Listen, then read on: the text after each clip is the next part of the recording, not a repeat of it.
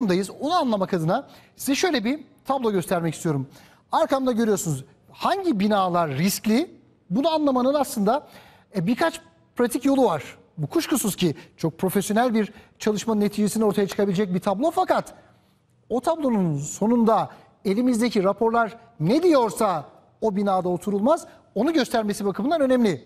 Yani bir e, konfeksiyondan pantolon alırken bile 10 defa deniyoruz ama içinde hayatımızı sürdüreceğimiz evler konusunda bize en uygun fiyatlı olan neyse patrona yerleşiyoruz. Durum o değil. Bak diyor ki binanın yaşı önemli. Yaş ilerledikçe risk de artıyor. Hiç böyle hani Avrupa'daki 600-700 yıllık binalarda insanlar yaşıyorlar falan. Ona bakarsanız Mimar Sinan'ın camileri de yaşıyor. Ama bizim içinde oturmamıza yönelik pratik yapılmış olan binaların bir ömrü var.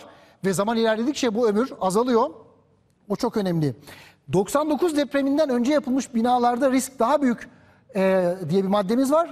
Bunun önemi de şu. 99 öncesinde yani o büyük 17 Ağustos depremi öncesinde biraz daha özensiz ve denetimsiz binalar vardı. İşte e, içinde pek çok insanın e, hayatını kaybettiği o binalar. Oralarda belki hasar almış ya da almamış olabilir ama bu onların çok sağlam oldukları anlamına gelmeyebilir ama 99 sonrası kuvvetle muhtemel verilen izinler ve yapılan denetimlerle daha sağlamdır diye bir e, maddeyi göz önünde bulundurun. 99 sonrası binalar, yetkisiz müteahhit işi proje ve ruhsatsız yapılar. Bunlar da ne? Yani bizim bir arsamız var. Benim bir benim halaoğlu da bu işlerden iyi anlıyor. Ona verdik, çıktık falan sonra belediye başkanının kapısında yattık falan filan. O işler işte bunlar. O işler e, kuvvetle muhtemel sonucu kötü biten hikayeler. Bunu hatırlamakta fayda var. İnşaatta hazır beton yerine deniz kumu ve ince demir kullanıldıysa korkun. Korkun çünkü artık dünyada da bu iş böyle olmuyor. Yani eskiden oluyormuş. Eskiden deniz kumunu çekiyorlarmış kamyonla. Elekten geçirip çimentoyla karıştırıp ama şimdi artık işler öyle değil. Şimdi artık içinde yaşayacağımız binalardaki o e, betona ulaşma seviyesi bambaşka. Birazdan şurada bak 5. maddede onu söyleyeceğim size. Beton kalitesi C10 standartının altındaysa diyor ya hani korkun. C10 standartı dediği şu ISO standartları var. Ve bu standartlarda aslında içinde oturulabilir bina standardı C25 falan, C24 falan yani 16 ile 24 arası. Ee, daha önceki depremlerde kum yığını gibi aşağı çöken binaların standardının C6'lar seviyesinde olduğu görülmüş. Bu şu, e, harç makinesiyle ya da elle kürekle kalıplara dökülerek yapılan betonlar, C10'un altındaki betonlar ya da karot alıyorsunuz ya böyle hani betonun kalitesini ölçmek için makineyi içeri sokuyorsunuz, dışarı bir kesit çıkartıyorsunuz. İşte o karot makinesini soktuğunuz anda kum gibi yığılıyor ya, işte oradan uzak durun. Yani o karottan o ölçümü yapmanıza artık o saatten sonra gerek yok. O, onu so- soktuğunuzda oralarda eğer yıkıntılarla karşılaşıyorsanız zaten daha fazla yapacak bir şey yok.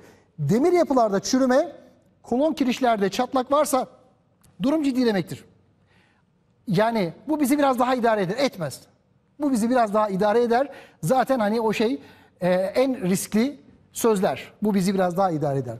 Bodrum katta ağır rutubet ve kolonlarda çürüme izleri. Genelde binaların dışında böyle makyajlar olur.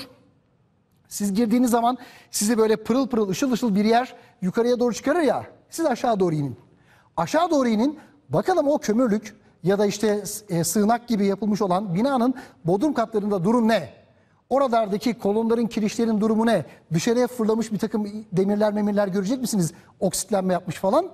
Onlara bir bakmakta fayda var. Binanız dere yatağı ya da dolgu alanları üzerine inşa edildiyse böyle bir şey artık yok gibi. Ee, yani artık herhalde özellikle 99'dan sonra ama yine de bu konularda alarm vaziyetinde olmakta büyük yarar var.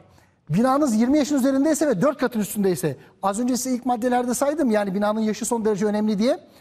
Binanın yaşı ve kat sayısı birbirine doğru orantılı olarak artıyorsa zaten risk daha büyük. Ve kolon kesilmesi, plana aykırı tadilat ve çıkma yapılması durumu varsa diyor. Bunu zaten tartışmaya bile gerek yok. Yani şu kolon kesilmesi yani binaların giriş katına otogaleri yaptılarsa ya da ne bileyim güzellik salonu yaptılarsa bilin ki orada kolon kesilmiş demektir. Yani eğer baktığınızda vay ne güzel mağazaymış boydan boya cam falan diyorsunuz ya ha orada durum ciddi demektir haberiniz olsun varsa böyle bir şey. Şimdi Yavuz Oymak'a gideceğiz.